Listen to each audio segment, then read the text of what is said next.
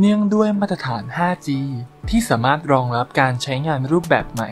หรือโมเดลธุรกิจที่ไม่เคยมีมาก่อน และมีข้อกำหนดต่างๆ ที่มีความสามารถสูงทำให้โครงข่ายรูปแบบเดิม ไม่สามารถรองรับสิ่งต่างๆ เหล่านี้ อีกทั้งแนวความคิดเรื่อง quality of service ที่ให้ผู้ใช้งานโครงข่ายแต่ละรูปแบบ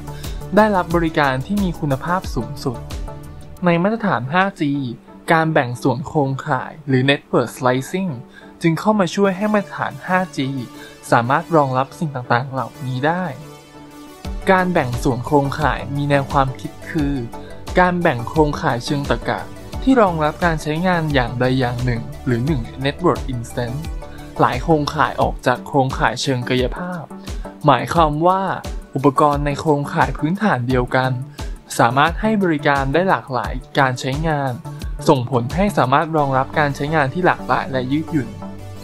โดยใช้หลักการของ virtualization อุปกรณ์ในโครงข่ายสามารถรองรับการทำงานฟังก์ชันต่างๆ ในโครงข่าย 5G รวมถึงยังสามารถปรับโครงข่ายภายในได้อย่างง่ายดาย เช่น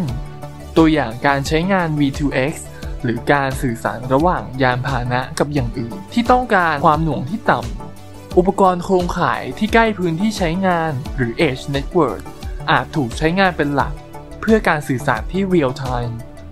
ขณะเดียวกัน ตัวอย่างการใช้งาน MMTC หรือ MIoT เช่น มิเตอร์อัจฉริยะตามบ้าน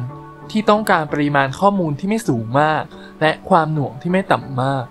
อุปกรณ์โครงข่ายที่อยู่ศูนย์กลางหรือ Core Network อาจถูกใช้งานเป็นหลัก